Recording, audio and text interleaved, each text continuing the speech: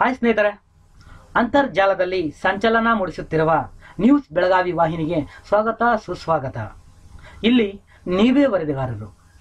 ನಿಮ್ಮ ಸಮಸ್ಯೆಗಳೇ ನಮ್ಮ ಸುದ್ದಿ. ತಪ್ಪು ಮಾಡಿದವ್ರನ್ನ ಪ್ರಶ್ನಿಸುತ್ತೀವಿ. ಹಾಗಂತ ನಮ್ಮದು ಅಸ್ತ್ರವಲ್ಲ, ಆಂದೋಲನ. ನಿಮ್ಮ ಸ್ಥಳೀಯ ಸುದ್ದಿಗಾಗಿ ನೋಡ್ತಾ ಇರಿ ನ್ಯೂಸ್ ಬೆಳಗಾವಿ.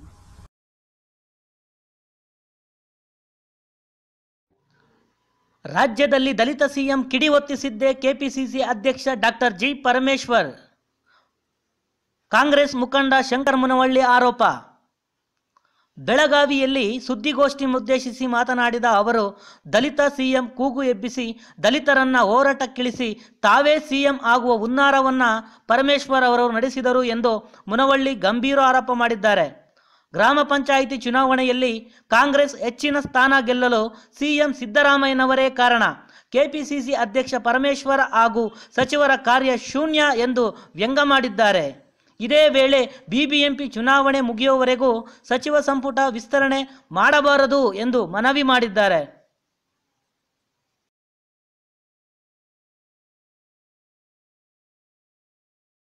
ಮುಖ್ಯಮಂತ್ರಿಗಳ ಸಾಧನೆಯಿಂದ ಏನು ಗ್ರಾಮ ಪಂಚಾಯತ್ ಒಳಗೆ ಕಾಂಗ್ರೆಸ್ ಪಕ್ಷ ನಂಬರ್ ಒನ್ ಬರಲಿಕ್ಕೆ ಮುಖ್ಯಮಂತ್ರಿಗಳ ಇದು ಶ್ರಮನೇ ಒಂದೇ ಇದೆ.